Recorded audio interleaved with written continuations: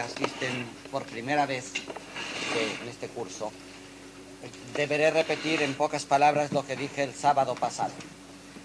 Ante todo, que el programa que tienen a mano no es un programa que pretenda dar unas clases de historia de la filosofía.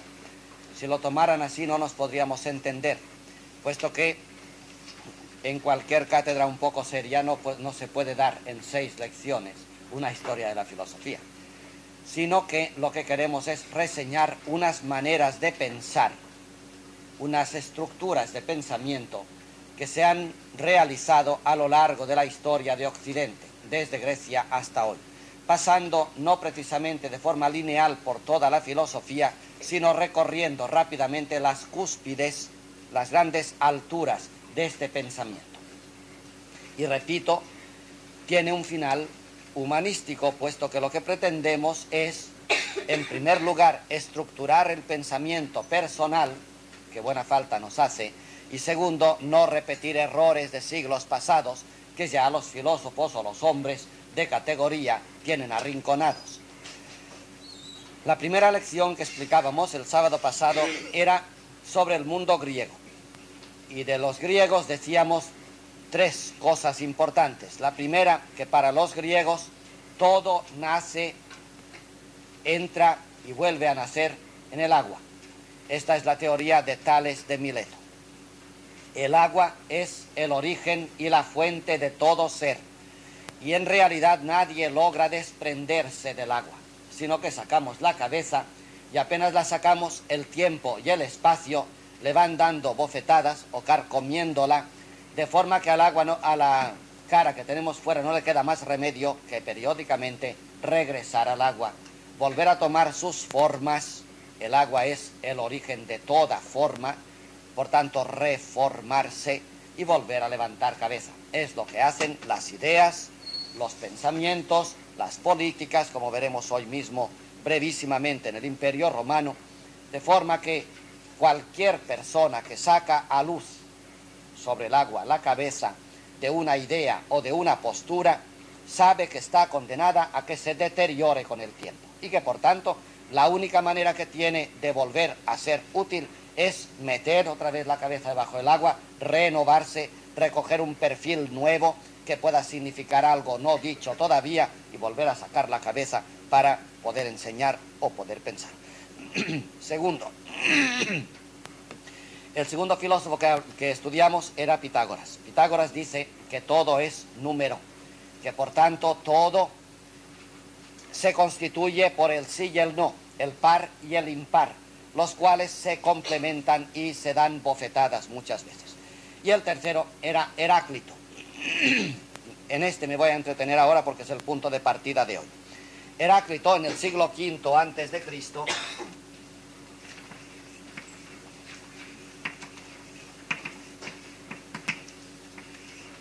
ha sido llamado el padre de la historia, porque es el primer filósofo que nos enseñó una verdad que hoy vuelve a estar de moda después de haberse sumergido largo tiempo en el agua. Y es la visión de que toda realidad está en tránsito, que el ser de todo ser no es un ser estable, sino un ser que pasa y deviene. Comentaremos de él, no creo que lo hice el, el otro día, la expresión de Heráclito es polemos panton patir. la guerra es el padre de todo. Fíjense qué justificación de la guerra, más hermosa. La guerra es el padre de todo. Con ello quiere decir que cualquier cosa que sea algo nació y se mantiene en la guerra. Y que por tanto cuando la guerra termine, la cosa muere es una de las constantes de toda la historia humana. Por eso digo que nos vamos a entretener porque Roma, justamente con su política y su pensamiento, su copiado pensamiento, es hija de esta realidad. Pongamos un ser cualquiera que llamaremos A. Este ser, noten bien que para los griegos, como van al cogollo de las cosas, no es, por ejemplo, una piedra, solamente, o, o un árbol, o una persona, es una idea, o una actitud, o un comportamiento, o una política, un gobierno de la ciudad, por ejemplo. Pues bien, para Heráclito, esto está así. De forma que, en un principio, la idea que cualquiera de nosotros tenga, o quizá la idea política que esté de moda en este momento en el país o en el mundo, esta idea o esta realidad nace de dos encontronazos, o de un encontronazo de dos fuerzas. De dos fuerzas además contrapuestas, porque esta fuerza viene de allí y además encima tiene tendencia, digamos, por ejemplo, a la izquierda y esta la tiene a la derecha. El origen de cualquier realidad, de cualquier entidad, el ser, pongámoslo toón, que dice él, el ser se origina de un encuentro de dos fuerzas en guerra. Recuerden aquí a Pitágoras y pongan aquí el par y el impar y tendremos una formulación de lo que Heráclito con Pitágoras llegan a decir. E, el par tiende a ser par y el impar es impar, por tanto, son los contrapuestos. El impar es impar y el par es par y chocan. Bien, pues de este choque nace una realidad cualquiera. Si tú has tenido una idea en la vida o tienes un comportamiento vital, este comportamiento nace del choque de dos fuerzas, como mínimo, quizá más, quizá es un encuentro de fuerzas, pero de dos como mínimo, ha nacido ya tu idea. Y encima, esta idea se mantiene sobre el choque de esta fuerza, de forma que la energía que se engendra por el choque sigue manteniendo la realidad de este ser. De forma, por tanto, que todo, todo lo que es, no es nada estable, no caigamos en el error de creer que las cosas que son, son algo. ¿eh? E, esta tarjeta no es algo. Esta tarjeta, si está aquí, es porque es el fruto de fuerzas vivas que están palpitando en este momento, que se encuentran y al encontrarse, neutralizarse los vectores, se mantienen en realidad. ¿eh? Por tanto, el ser de todo ser no es una realidad estable que tú quizá ves como ves la mesa o ves una persona a tu lado. Estas personas y estas mesas que ves son vivas, están vivas por el encuentro de fuerzas vivas. Si no tuvieran fuerzas que las empujaran, dejarían de ser. Por tanto, lo quieto es un espejismo. Las cosas que tú ves quietas, una, una piedra que ves en la calle, por ejemplo, si tú crees que es quieto, que está así la piedra y es así, te estás equivocando. La piedra es dinámica. La piedra está allí porque en ella se encuentran infinidad de fuerzas que le mantienen en vida. Luego, el ser, el ser de todo ser, no es una estabilidad, sino una inestabilidad. Es una tensión. Y cuanta más tensión hay entre las cosas, más realidad tienen las cosas. Por esto, volvamos a la frase que tenemos pintada. El, el padre de todo es la guerra. Y por tanto, este todo, el pantón, el genitivo plural de todas las cosas, este todo está en proporción con la guerra. Cuanta más guerra hay, más todo hay. Y cuanto menos guerra hay, menos todo hay. Las cosas son en la proporción de su devenir, de su tensión, de su inacababilidad, de, de las cosas que no se acaban ni pueden acabarse sobre esta idea, para que la desarrollemos justamente a través de la filosofía, como estamos haciendo, ustedes saben que hace apenas un siglo el pensador danés Kierkegaard, tan querido de Unamuno, escribió un tratado sobre el dolor. Y como el dolor lo vamos a ver ahora enseguida en los romanos, ya lo pongo aquí para que no se nos vaya la idea. El dolor, pero cuidado, no el dolor fácil ni mal traducido. Perdónenme que le dé tantas vueltas porque lo peligroso entre los griegos es tropezarse con las palabras. Bueno, entre los griegos y entre los humanos de hoy también. Ya dije, me parece el año pasado, que somos especialistas en tirarnos palabras vacías o como pedradas. Pero palabras cargadas y llenas de guerra, de vitalidad, no las sabemos tirar. Cuidado con las palabras, pues. Las palabras deben ser portadoras de un mensaje, todas. No es, no es justo que ninguno de nosotros soltemos palabras muertas. No se pueden soltar palabras muertas. Hay que guardarlas y enterrarlas. Las palabras son vivas, como realidades, como decía eh, Heráclito. El dolor, pues, no es sin más el dolor, que te pinchan y te duele. No, no, el dolor es la traducción del encuentro de fuerzas. Cuando un par y un impar se encuentran, o cuando las cosas, las fuerzas, se hacen la guerra, como estamos explicando, entonces nace el sufrimiento, porque hay una compensación. El uno y el dos chocan y cada uno de los dos hace daño al otro e incluso se pueden estropear. Pues bien, este choque, este es el sufrimiento. Fíjense, entonces según los griegos y como veremos los estoicos, el sufrimiento es la condición de todo ser. Nada existe sin sufrimiento. Nadie, nada existe sin un encuentro. Por esto, como dirá Marco Aurelio, y lo leeremos al final, los humanos son especialistas en la imbecilidad. Que nadie se sienta aludido porque son los humanos. Claro, lo que toca a todos no ofende a ninguno en particular. Son especialistas en imbecilidad porque los humanos se pasan la vida, es Marco Aurelio, intentando anular el sufrimiento. Los tontos, que no saben que si lo lograran, se anulaban a sí mismos. Y verdad que somos tontos los humanos. Y verdad que sí que nos empeñamos en eliminar el dolor. El dolor, digo, filosófico. ¿eh? Evidentemente que nadie aquí ahora va a sacar un cuchillo y empezar a pinchar a los demás. Claro que no.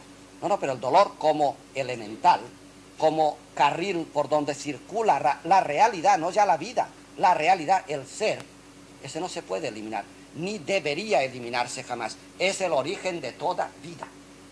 Por tanto, digámoslo de otra manera, el ser creador, eh, los griegos en vez de, de pater, aquí ponen polletes, el, el creador, el que crea, es el que sufre. O al revés, todo aquel que sufre es creador. Toda realidad que está sufriendo está engendrando. Como saben, eh, el escritor cristiano San Pablo tenía mucha relación con los estoicos. ¿eh? Una relación, sin duda, no de simpatía, pero por lo menos de, sincronía, de, de coincidencia en el tiempo. Y San Pablo es el que dijo la gran frase filosófica y religiosa de que toda la creación está en dolores de parto. No es más que una traducción de, Heráclito y bueno, de todo el pensamiento griego hasta los estoicos. Toda la creación, la creación significa el ser otra vez, incluso las galaxias y luego hasta el más mínimo animal o el más mínimo protón. Toda la creación está engendrando en dolor. Fíjense. No es solamente una circunstancia que todo engendro se hace en dolor. No, no. Es que todo engendro se hace en dolor. De lo cual es un epiquerema apenas el que también los animales y las personas engendren con dolor. No, es todo. La creación engendra con dolor. Si hay dolor en la creación es que se está engendrando algo. Cuando hay paz, paz quisiera decir establemente, ¿no? Definitivamente. En la creación es que la creación ha terminado, ya no se engendra nada. La condición, por tanto, del ser, y evidentemente del crear ser, de la creación, la condición del ser y del crear ser es el sufrir, el dolor, porque es un encuentro de fuerzas. La guerra es el padre de todo. como me parece que es deber hacer humanismo cada vez que se habla de estas cosas, ya dejemos un poco la filosofía, digo la historia de la filosofía y la filosofía de la historia, y pasemos a ver si sacamos consecuencias de estas cosas. Ante todo, donde quiera que haya dolor, hay engendro. Donde quiera que haya engendro, hay ser nuevo. Y donde hay ser nuevo, hay vida. Todo aquel que se esfuerza por eliminar el dolor hace bien como esfuerzo superficial, pero, como dice Kierkegaard, que recuerde todo aquel que elimina el dolor, que si logra eliminarlo como toca, lo que hace es preparar al sujeto para un futuro dolor. En tanto podemos eliminar el dolor, por tanto, en cuanto nos capacitamos para encontrar otro sufrimiento. en una forma más fácil de entender, Supongamos que el humano y el humanismo están escalando una montaña. Al escalar sufres, evidentemente, ya tienes otro ejemplo. El escalar es un sufrimiento. Al escalar sufres y al llegar a una meta de la montaña has eliminado el dolor porque estás en una meta. Pero sucede una cosa curiosísima, como dice Kierkegaard, es que cada altura que logra el hombre le da una tranquilidad, una paz, digamos. Una paz quiere decir par y par, ¿eh? o impar e impar, una, una compensación donde se te va. ¿vale? Entonces hemos logrado una altura, 500 metros de montaña, y tenemos un, pues una compensación, una paz. Pero, dice Kierkegaard, lo que sucede es que en este mismo momento en que has logrado un peldaño de la montaña y una altura, y has logrado una paz, pronto has dejado de sufrir, ahí mismo empieza un sufrimiento mayor que el que tendrías si no hubieses logrado esta altura. Porque al darte cuenta de la altura que has logrado, al mismo tiempo te das cuenta de que hay altura por lograr que no habías visto antes de lograr la primera altura. En otras palabras, cualquier eliminación de dolor es una potenciación de dolor. Repito que no es ninguna canonización del dolor, ni mucho menos. ¿eh? Evidentemente que estamos rozando un problema religioso en mucha categoría que pienso que por lo menos este año no nos toca eh, liquidar, pero sí rozarlo, sí, y además no, no, no escurrir el bulto.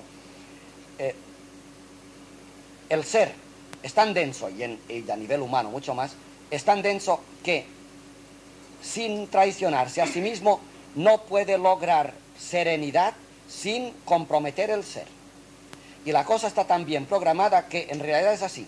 Serenidad que logras, descubrimiento que haces, que te duele más que no te hubiese dolido si no hubiese logrado la primera felicidad.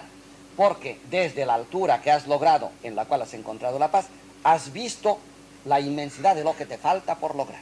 En otras palabras, que escalar una montaña es lograr unas alturas para desde ellas no quedarse en paz, sino descubrir cuán alta es la montaña, cosa que no sabíamos cuando estábamos en la falda. Estamos solamente comentando a Heráclito, como ven. ¿Debe el hombre, por tanto, eliminar el sufrimiento? Estos son los estoicos romanos, ya, bueno, los griegos y los romanos. Sí, siempre. Pero con una condición. De que sepa y quiera que cualquier eliminación de dolor suponga un aumento del sufrimiento. O si se quiere, una inquietud nueva. Si, si, el dolor suena mal, digo que las palabras son peligrosas, o el sacrificio, el sufrimiento, y que parece que esto sea un, un eutontimorúmenos, es justamente la palabra griega, ¿no? El que se atormenta a sí mismo. Lo llamamos un masoquismo, los griegos dicen la palabra muy, muy rimbombante, eutontimorúmenos, el que se maltrata a sí mismo. No, no, no es nada de esto. En realidad, bueno, sí y no. Lo que pasa es que entender, dejemos pues la palabra sufrimiento dolor, digamos inquietud, inestabilidad, es lo mismo. Eh, tensión, pongan ustedes la palabra que quieran que no les duela, pero que sea estimulante. Para los griegos será esto, el, que se flagela a sí mismo, pues muy bien. Entonces cada uno eh, ha de hacer estas compensaciones. El hombre que intenta eliminar el, la tensión, el sufrimiento, hace muy bien, a condición de que la eliminación de un sufrimiento le capacite para sufrir más. En otras palabras, es el hombre que de alguna forma elimina la tensión para tensar más. Eso sí, entonces sí que es verdad. Por esto debe evitar el humano que lo sea de verdad. Repito que estas son cumbres del pensamiento humano, por tanto son sólidas. Eh, lo, que el hombre debe evitar de verdad es perderse por, por estos recovecos de superficialidad y, pensar, pues seremos felices el día que no tengamos nada que hacer, por ejemplo. Es, el asesinato de lo humano. O pensar, por ejemplo, en una humanidad feliz. ¿sí? Bueno, justamente la televisión, por lo visto, yo la veo poco. Estos días dio lo de Huxley, El mundo feliz, o el mejor de los mundos, como lo tituló él, y se vio qué clase de felicidad sería la felicidad de un mundo feliz, ¿verdad? La gran infelicidad. Evidentemente, si no saldremos del lío. Cuando el hombre va contra sí mismo, entonces la naturaleza se le venga siempre. Si el hombre lograra una, eso, un equilibrio total, una paz total, se moriría. Y el ser también. Así que la, se venga la naturaleza. Tú has logrado la paz, pues ya verás lo que te pasa. Tú intentas fabricar a base de control total un mundo feliz, ya verás lo que pasa. Ya verás lo que pasa. Será el más infeliz de los mundos, el más manipulado, el menos humano, el que tenga menos cantidad y calidad de ser. Así pues decía que los humanos debemos tener cuidado de facilitar demasiado las cosas. Evidentemente que no podemos poner en la prensa, pues hoy en las carreteras de España ha habido 24 muertos y al lado, feliz España que tiene tantos muertos. eso no lo pondremos, evidentemente. Porque además nadie ha dicho que este sufrimiento no sea producto de la estolidez humana, y entonces este sí que debe evitarse. Pero en segundo lugar, lo que no podemos hacer tampoco es 29 muertos en la carretera. Qué insensatez la vida nuestra. Eso ya hay que tener cuidado. Eso ya hay que tener cuidado. Justamente una forma de ingresar en el corazón del ser es la destrucción del ser. Y ahora voy al segundo punto de, Heráclito. ¿Cómo se hace para que el ser, este núcleo de aquí, se llene cada vez más de, de poder, de electricidad, digamos de tensión, justamente? ¿Cómo se hace? Pues justamente con la destrucción. Les voy a leer un trocito de, Heráclito y verán qué maravilla de pensamiento eh, hace 2480 años. El devenir consiste, el devenir es la razón del ser, ya lo hemos dicho, toda evolución. Nada es estable, nada. Y lo que parece estable es porque no vemos su corazón, hoy en día lo sabemos, los átomos son vivos y se mueven, por ejemplo, o porque no tenemos perspectiva histórica. Tú dices, las montañas son estables, llevan aquí tres millones de años. Bien, lo que le falta es perspectiva. Tú estudia las montañas en un recorrido histórico de 24 mil millones de años y verás tú si se mueven las montañas. y los continentes que se mueven a esta, a esta razón histórica, pero con millones de años verás tú cómo todo se mueve y todo evoluciona. El cosmos, el universo, el ser mismo y la constitución de las cosas. Todo está en movimiento el ser de las cosas es el movimiento, o la tensión, o el devenir. Consiste en el paso de un término a otro, y este otro es siempre su contrario. Fíjense qué clase de sufrimiento pronostica Heráclito. De forma que yo soy yo en cuanto estoy pasando en mí, y el ser es igual, de lo que soy a su contrario no ya a su pariente, ¿eh? a su contrario. Lo que a mí me mantiene en vida es que ayer no tenía unas cosas que hoy tengo, no tenía y hoy tengo. Esto es el contrario, contradictorio más bien. ¿Lo ven? Y al revés, ayer tenía unas cosas que hoy ya no tengo. Esto es lo que me mantiene en vida. Si yo hoy tuviera todo lo que ayer tenía, sería un fósil, evidentemente, si, se entiende enseguida. El fósil bueno, el fósil a nivel de fósil, porque a nivel de ser no tiene ni siquiera es fósil el fósil. ¿eh? todo se le ha movido por dentro. Lo que pasa es que lo que vemos, otra vez a corta distancia, el fósil es estable. Bien, pues el fósil es fósil, digamos, es muerto, para decirlo así. El que es vivo no permanece nunca en el mismo estado. Parménides, del cual hemos hablado, decía, tanta rey, todo corre, todo corre, es un correr constante. Pero no solamente un correr como el agua del río, de que habla en un principio Heráclito, Nadie se baña dos veces en el mismo río. Y es verdad, ¿vale? Como nunca coges la misma agua, nunca te bañas en el mismo río. De bañarse en el Manzanares todo el verano, nadie se ha bañado jamás. Dos veces en el mismo Manzanares, nadie. nadie. Si no sería una cloaca. Qué triste sería, ¿verdad? ¿Ah? Entonces todo corre, pero que este corre todo no significa que corre como el agua. Bueno, como el agua que ves correr, que no la ves correr, porque lo que corre del agua no lo ves correr. ¿eh?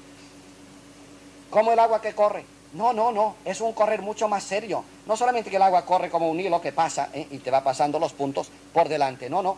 Es un correr tan elemental, digamos, tan profundo, que se corre de lo que no se es a lo que se es, que es mucho más. ¿eh? Este es el correr del 1 al 2, del par al impar, de, de la compensación, este es el correr. Pues bien, por esto habla el de la guerra. El devenir de las cosas no es un devenir en línea, las cosas van deviniendo, están pasando los hechos, sino que el devenir es de choque. Se pasa del ser al no ser, o del no ser al ser. Tan radical es el devenir, que es de contrapuestos. Por esto es la guerra. Pues bien, el ser es un devenir, un paso, de un término a otro, que es siempre su contrario. Nosotros estamos pues pasando constantemente de... ¿De qué?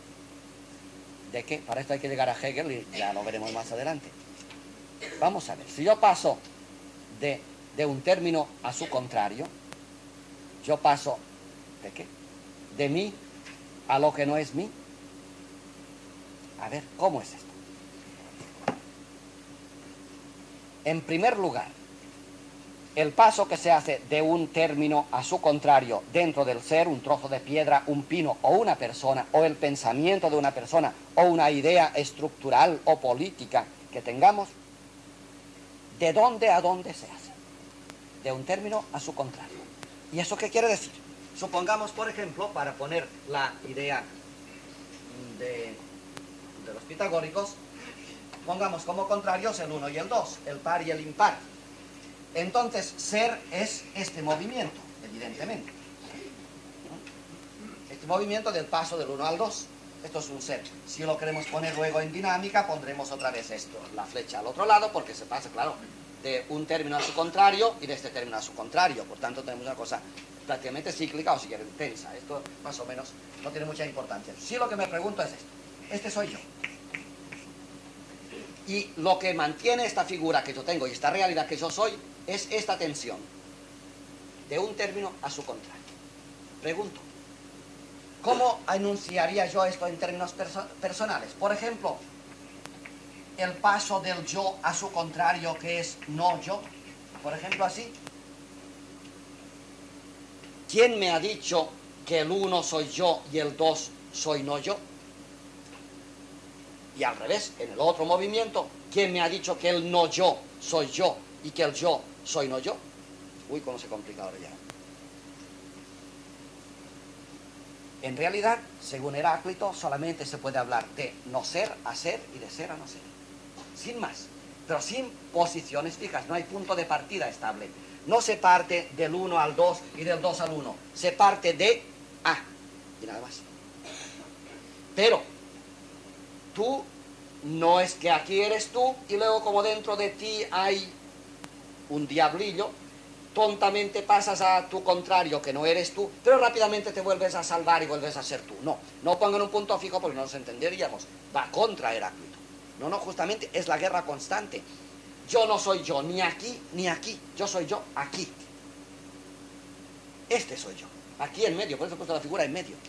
No es que yo paso de, de desgraciadamente, de lo que ayer era a lo que hoy soy, desgraciadamente. Por ejemplo, de niño a viejo. Así ya nos entendemos, ¿verdad? No, no, no, no. Cuidado con las edades de la vida. Se ha muerto Sartre, recuérdenlo. Y Simone de Beauvoir, su, su esposa o su compañera, lo ha dicho muy claro. Vivir no es envejecer. Perfecto, estamos en el tema. Vivir no es envejecer. Lo que pasa que los años que pasan son ciclos que han pasado. Son veces, son miles de millones de veces que tú has estado con la pelota de sí, del sí al no, del sí al no. Y este has sido tú. Y tanto más tú eres, cuanta más veloz ha pasado la pelota de parte a parte. Y si en cambio en toda tu triste vida no ha pasado la pelota más que una o dos veces el sí no, apenas eres nada. Y entonces, aquel que tiene un movimiento de pelota lento, este es viejo. Este es viejo, aunque sea de dos días. Y el que lo tiene rápido, este es joven, aunque tenga 400 años. Ustedes se dan cuenta de Heráclito, 2500 años, el movimiento de pelota que tiene. Si todavía vive, ah, claro. Y hay gente que acaba de morir y, como decía el sabio, pasa como las naves en el mar. Hace una estela de dos metros y después ya nunca más se sube. Bueno, como me gusta darle vuelta, pero no me conviene porque alargamos mucho. Ven ustedes que la tautología, o el repetir lo mismo, es por un lado una declaración de ignorancia, desde luego, pero también es una forma metódica de, de, poder enseñar, porque las cosas repetidas quedan más, ¿verdad? Por eso le damos vuelta. Pero creo que lo, lo podemos terminar. Si hemos entendido que yo no soy yo ni aquí ni aquí, sino en el movimiento, hemos entendido más o menos lo que quiere Heráclito. Por esto, cuando tú preguntas, bueno, vamos a ver, por ejemplo, en nuestro caso, y si de una vez lográramos estabilizar la economía española, ¿qué pasaría? Una de dos. O nos quedaríamos tontos de remate o volvería a empezar otra desestabilización. Evidentemente. Y el día que yo logre mi paz, seré feliz. Una de dos. O serás idiota y serás feliz, evidentemente. O empezará con más dimensión otro problema de intranquilidad. No lo dudes. Es el sino humano. Es el sino humano. Y todas estas cosas de sufrimiento, de guerra, ingresan, como acaba de decir, con el juego de la pelota. Si yo parto del, del sí y voy al no, Cuando del no reboto en el sí, no soy el que partió del sí, ¿eh? Vengo con toda la experiencia del, ciclo que he hecho. Por, tanto, cuanta más velocidad lleve de movimiento y por tanto más inestabilidad, ¿eh? más agitación tenga, más vida tengo, porque más veces he pasado del sí al no o del 1 al 2. La inestabilidad, desde luego, es una sensación de vida y una, una, una detección de vida. Y la estabilidad es una denuncia de muerte. Por ahí cerca anda la muerte cuando la cosa es muy estable. Muy estable. Vayan ustedes a un museo. El museo es el cementerio mejor organizado que existe. Pero el cementerio. Por ahí ronda la muerte, está presente, la, la ves por todas partes. Tanto si es museo de animales, de cosas, personas, de lo que sea. Los museos son un ejemplo de lo que el hombre puede decir, esto es mío. Y lo es años y años, es la muerte. En cambio, nadie puede decir sobre Madrid, esta ciudad es mía. Es viva la ciudad, no es de nadie. Y el que lo diga ya ven lo que pasa. No, no, no lo es. No lo es porque la vida es así. La vida es inestable, se nos va de las manos aún a aquellos que la tenemos de alguna manera. Me parece que me faltaba un trocito de Heráclito es el paso de un término a otro que es su contrario en una tensa, tensa, la tensión, pero armónica sucesión de opuestos. La teoría de los opuestos es, vendrá después en el Renacimiento con Nicolás de Cusa, que conviene recordar porque da un poco de luz y así pasamos a los estoicos. Los opuestos no solamente son estos dos, que lo son, y la vida es la tensión entre ellos, sino que cuando se habla en filosofía, o sea, en pensamientos, también sucede lo mismo. La realidad es dialéctica.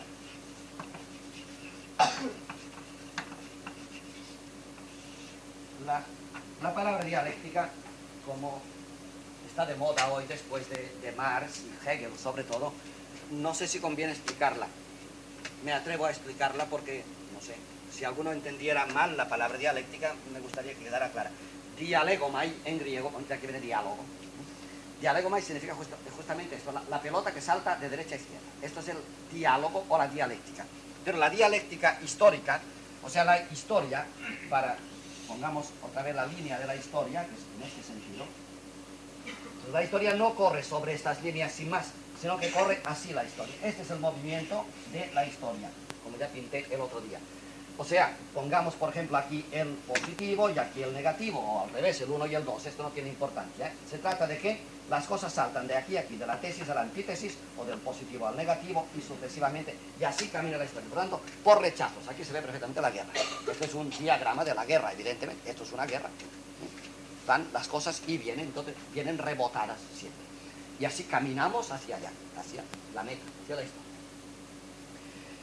Dialéctica significa esto, El, diálogo, el sí y el no, el, eh, la llegada y la despedida, la llegada y la despedida, el, el venir y el irse. Que la historia es dialéctica significa que por lo menos se realiza entre estos dos extremos o polos. Por tanto, no es lineal, sino dialéctica. Bien, y si es dialéctica la historia, y la filosofía evidentemente, entonces no sucede lo que estábamos diciendo aquí con, con Heráclito, en realidad. Que no solamente la guerra es el padre de todas las cosas, como está pintado aquí, sino que en realidad las cosas no son nada, sino cuando están contrapuestas. Que también lo había dicho antes, pero lo digo de otra manera. Si yo lanzo estas ideas que estoy lanzando ahora, y ustedes no me las devuelven digeridas por ustedes, estas ideas son estériles. Y en su origen, las ideas que yo tengo, una de dos. Si son ideas que he embotellado, como dicen los estudiantes de hoy en día, ¿no? empollado. Eso no son dialécticas, son lineales. Ustedes se darán cuenta enseguida. Este está recitando. ¿A qué sí? En cambio, si las ideas que yo he recibido, que las he recibido, están digeridas por mí, o sea, han recibido un control mío, han rebotado en mi pantalla, ahora son mías yo las digo como mías. Y ustedes están sintiendo que de, alguna forma estoy entregando una entraña mía. Porque hay dialéctica. Por eso, si ustedes aceptan mis ideas sin más y las meten dentro y las embotellan, son muertas estas ideas. Tienen ustedes un museo de ideas en su corazón. No hay guerra. Claro, ustedes están pensando, "Mm, esto, este señor es superficial, este señor no está documentado. Eso es muy bueno, muy bueno. Claro, si ustedes me devuelven la pelota y si me dicen, usted no está documentado, yo veré lo que respondo, evidentemente. Otra vez devolveré la pelota, claro está. Ahí, en este movimiento, está la realidad y la verdad. Y la verdad.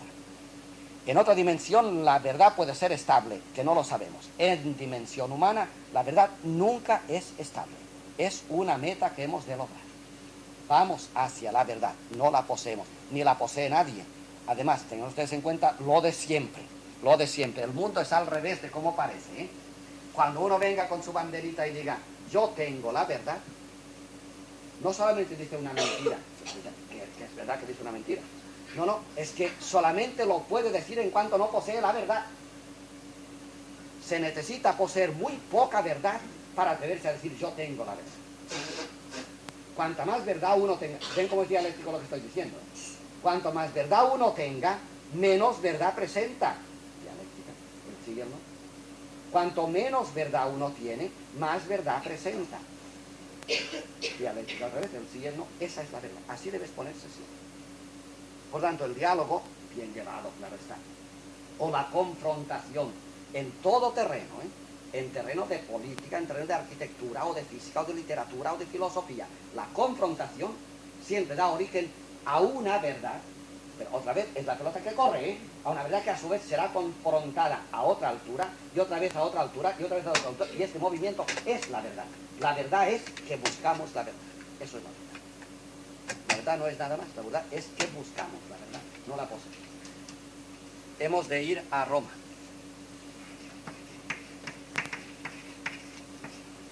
Roma tiene una, como han visto en el programa que di, tiene una consistencia elementalmente política. Roma es la, en cierta manera, la realizadora de un imperium, un mando, una organización que fue la dueña del mundo. Posiblemente es el imperio mejor organizado que ha existido, si así se puede juzgar.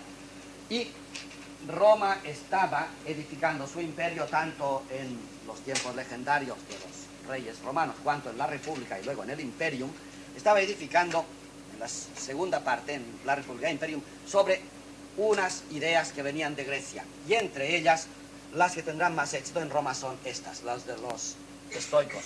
Estoicos se llaman, como saben, por la stoa, donde se enseñaba el estoicismo. Y el estoicismo llegó a Roma en un momento en que Roma se construía y que hizo que Roma se construyera de una manera estoica.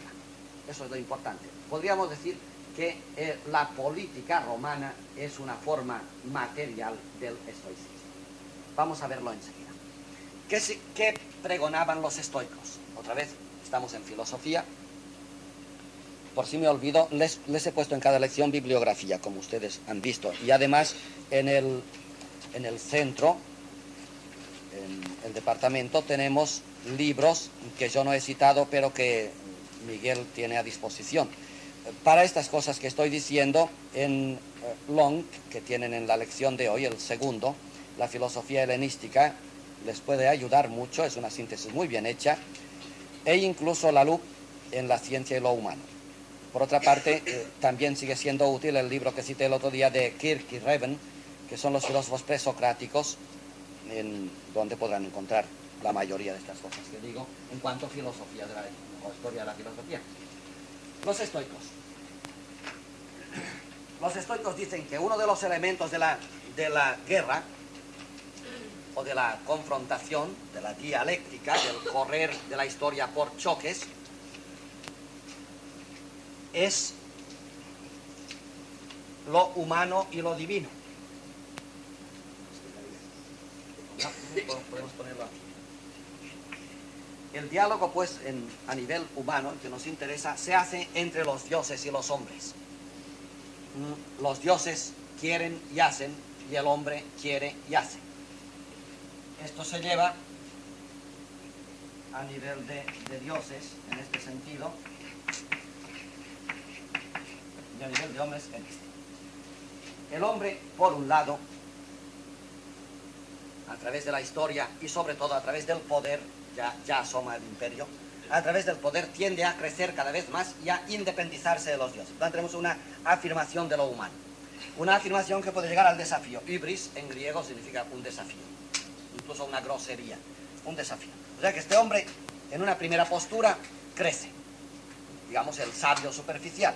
En un momento dado dice, yo para qué quiero dioses, si yo lo soy todo, si yo soy Dios, un poco como hacen las culturas ya al final de sus tiempos, como la que estamos viviendo hoy. Yo soy Dios, ¿para qué quiero dioses? Entonces sobreviene entonces sobre lo humano la ibris, el desafío, el desacato.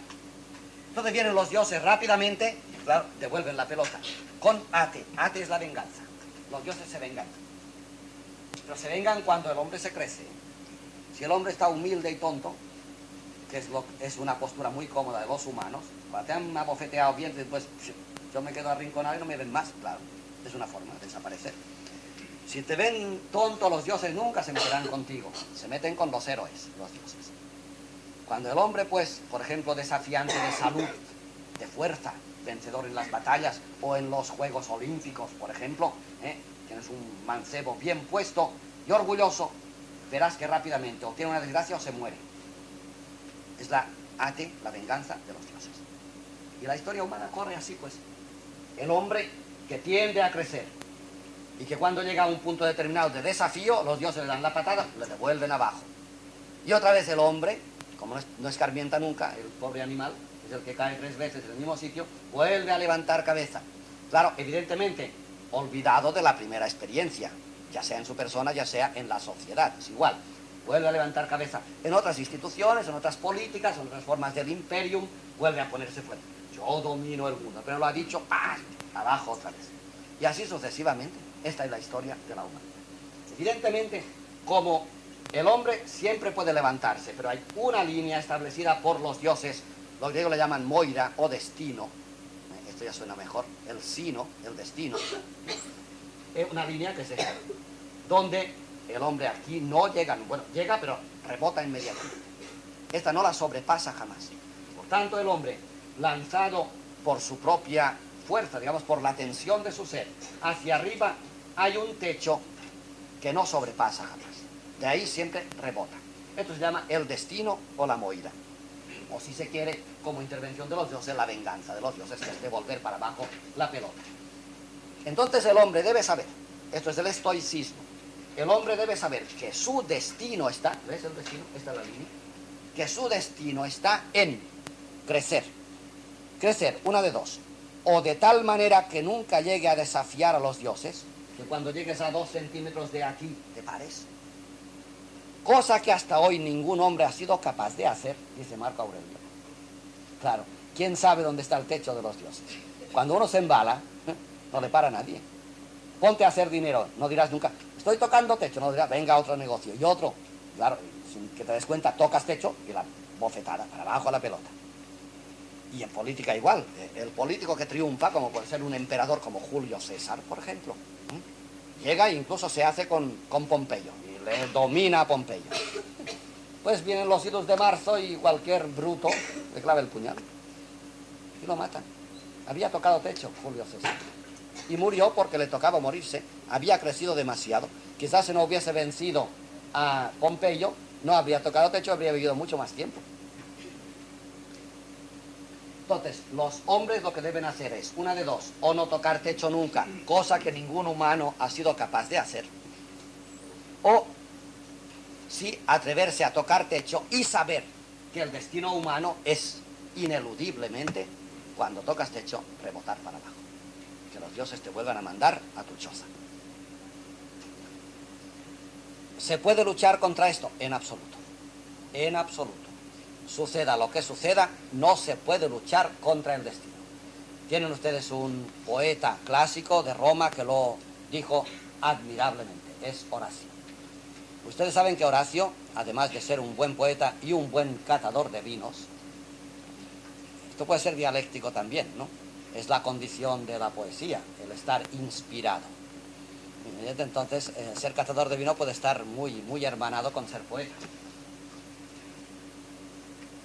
Horacio de mil maneras dijo. Lo primero, una cosa. Por ejemplo, si fractus in lavatur orbis, impavidum ferient ruino.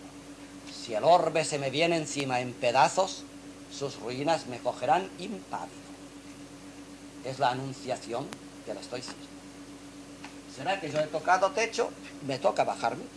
Se terminó. Entonces soy intangible, soy inasequible para los ataques. Sé que es así. Vendrán un día y me acuchillarán. No puedo evitarlo. Voy por la vía sacra y vuela una piedra y me dan la cabeza y una... No lo puedo evitar.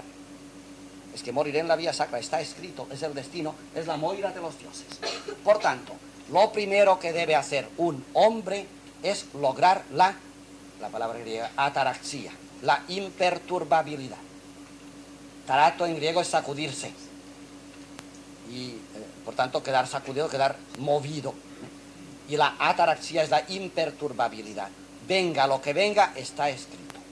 Tanto, queda imperturbable. Marco Aurelio, que es del siglo II, el gran emperador filósofo, como ustedes saben, eh, no persiguió a los cristianos, pero no se cansó jamás de decirles, sois unos vulgares humanos a los cristianos. ¿Por qué? porque queréis morir aparatosamente. Fijarse por dónde va. O sea, que los cristianos para Marco Aurelio eran unos hombres que no aceptaban el destino, que lo retaban y que encima luego morían aparatosamente, como no debe morir un filósofo. para Marco Aurelio era claro que los cristianos no tenían razón, justamente no tenían razón por esto. Bien, por un lado, pues Horacio nos dice que aunque el orbe se nos venga encima hecho pedazos, hemos de estar intactos. Que el destino no se puede cambiar.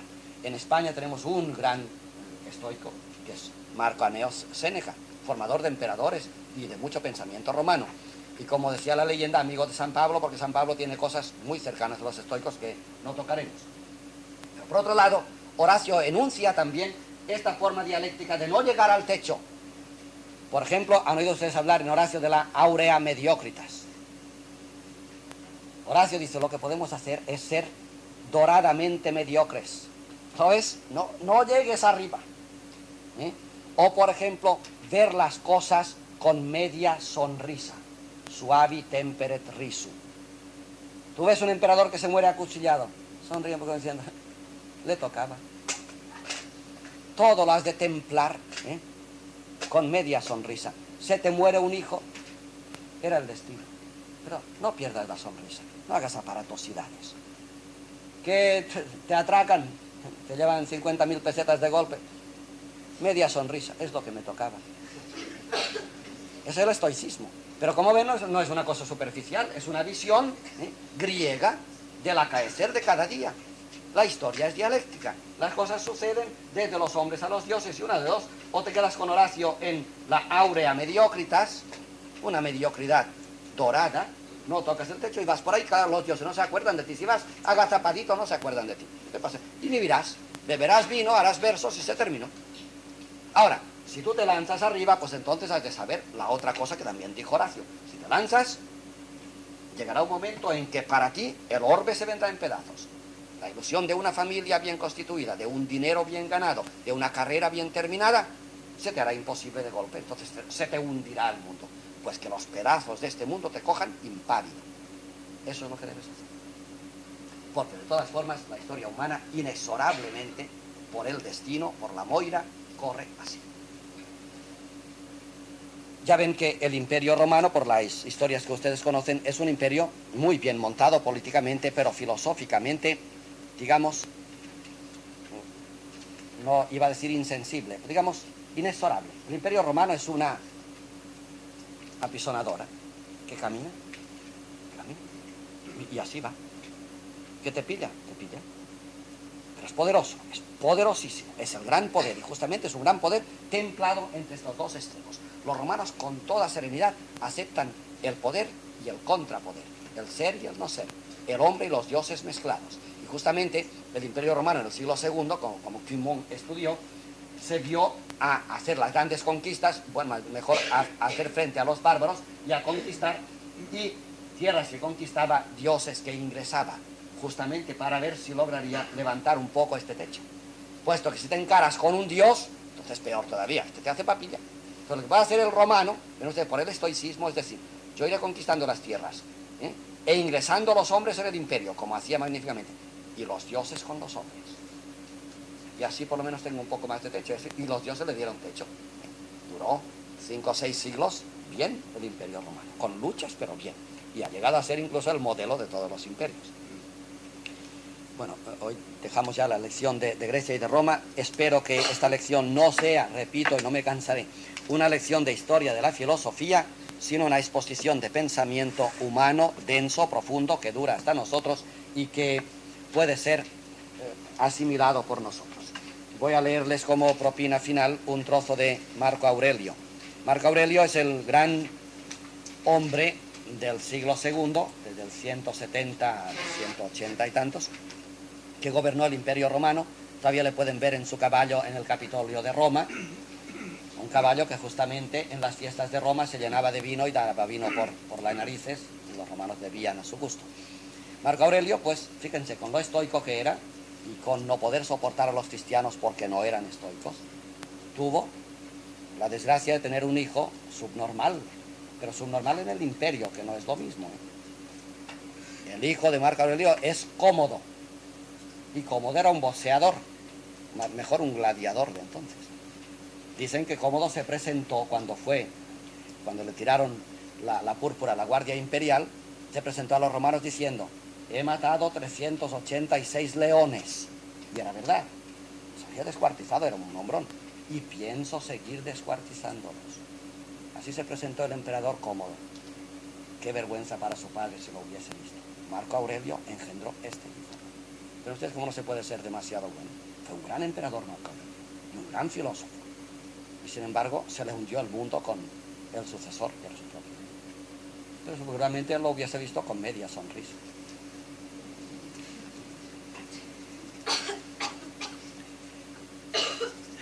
Uno de los pensamientos de Marco Aurelio dice así, el transformarse no es un mal para los seres. ¿Conocen ustedes esta doctrina? El transformarse, ¿eh? del 1 al 2, no es un mal para los seres. Pues si vas envejeciendo, te vas desmoronando, no es un mal. Te parece mal, pero no lo es. El transformarse no es un mal para los seres, como tampoco es un bien para ellos el efecto de la transformación. En esto es esto. ¿Os dais cuenta de lo que está diciendo? Dos verdades, coge de Grecia. La transformación, eso, la guerra, no es un mal para los seres. Lo había dicho Heráclito, la guerra es el padre de todo ser. No es un mal. Pero el efecto de la transformación no es un bien tampoco. Porque llega a tocar techo y te devuelven para abajo. Estoico. O sea que en una frase ha resumido dos cosas. El pensamiento griego de Heráclito y el pensamiento de los estoicos. Repito la idea que es, densísima, como ven, que se entiende solamente en este contexto. El transformarse no es un mal para los seres, como tampoco es un bien para ellos el efecto de la transformación. Porque al final, si transformas demasiado, te devuelven abajo. El tiempo es como un río. ¿Conocen la idea? Panta rey, todo corre. No se baña nadie dos veces en un río. Las mismas piedras. Habría que ver Jorge Manrique donde había bebido con lo de los ríos. ¿eh? El tiempo es como un río, cuya rápida corriente arrastra todo lo que lleva consigo. Lo del tiempo aquí es más bien de, los pitagóricos. Todo lo arrastra el tiempo. Lo envejece. Tales de Mileto, por ejemplo. El tiempo envejece, carcome las cosas. Tan pronto como hay una cosa nueva, es arrastrada, como a su vez lo serán todas las que vengan después. La segunda parte siempre es esto. Todo deviene. Esto es. Pero tristemente, apenas tú levantas un dedito y dices, una cosa nueva, una idea, viene el tiempo y te la arrebata. Porque has, has desafiado a los dioses. No levantes el dedo, te lo van a llevar. Bueno, estos son, estos son los pensamientos, vale la pena de leerlos porque son muy actuales los, los pensamientos de los estoicos, sobre todo los de Marco Aurelio. Quieren que, creo que tenemos muy poco tiempo, quieren que hablemos, dialoguemos sobre estos temas. ¿Cómo? Yo he hecho un poco de selección porque no tenemos tiempo de todo. Si usted quiere, el próximo día ya no sé qué me toca si quiere. Quizá podríamos decir algo de, los del desengaño total de Epicuro. Bueno, ver si lo añado en otro día. Sí, sí claro.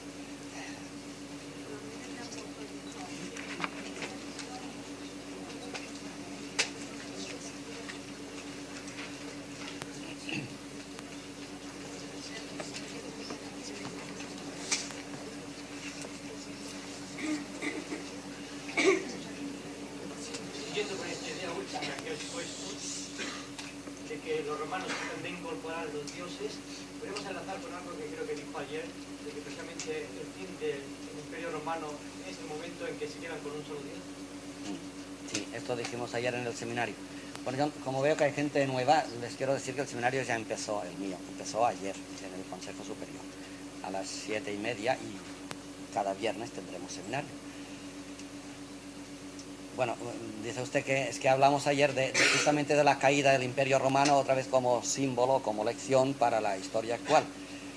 Y sí, Roma, por sentimiento estoico, justamente iba aceptando todos los dioses de los países que conquistaba, pero no fue lista Roma, se equivocó. Y llegó un día que conquistó un país con un solo dios, el monoteísmo judío, que entrañaba ya el cristianismo. Entonces, claro, Roma que aceptaba en su seno todos los dioses para que la salvaran, para que le dieran techo, aceptó tontamente una religión que no admitía más Dios que el suyo, con lo cual se asesinó Roma. Y el cristianismo es el responsable de la muerte de Roma en el siglo V, según dicen, esto dije, según dicen ciertos pensadores, como Gibbon, por ejemplo, ¿no? y como algún cristiano también. Esto es, da mucho que pensar, desde luego, evidentemente, depende de la filosofía que adopte cada uno. Pues claro, si a Roma le salvaron todos los dioses, evidentemente fue un error admitir una religión que no admitía dioses.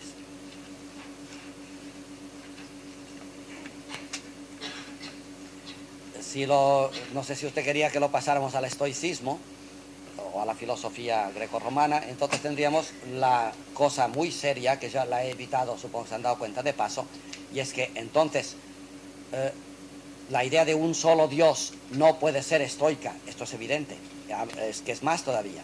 La idea de un solo Dios sugiere, por lo menos para este Dios, una coincidencia de opuestos, quiero decir, una paz. Coincidencia, no, no pugna, sino coincidencia de opuestos, que es el Dios de los cristianos. Entonces es claro que un Dios tal es la muerte de cualquier filosofía dinámica.